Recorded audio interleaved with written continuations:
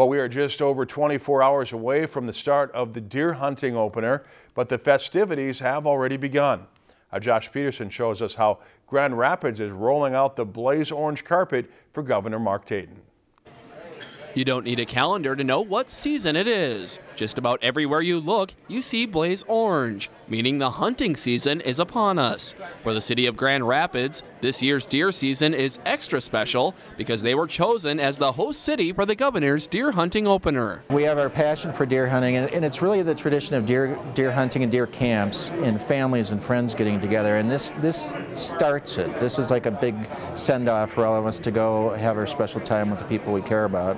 With conditions just right and fresh snow on the ground, this year's deer season is expected to be one of the best in recent years. We've had three mild winters, and so the population is up. We're either at lottery or hunter's choice in all of our permit areas around the Grand Rapids area, so people should be able to shoot a buck or a doe. One way the city of Grand Rapids is hoping to keep the deer opener fresh is by moving its expo outside and giving it a carnival-like atmosphere right under the big top.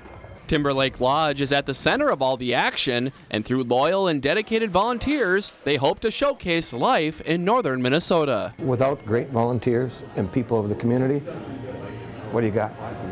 I mean, you have to have them. And, and that's what makes it different every time.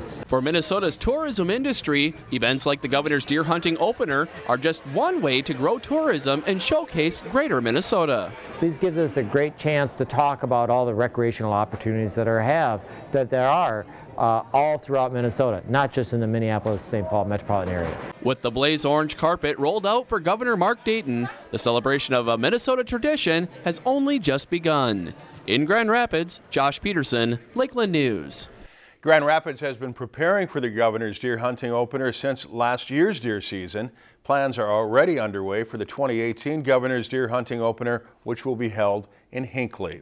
If you've enjoyed this segment of Lakeland News, please consider making a tax-deductible contribution to Lakeland Public Television.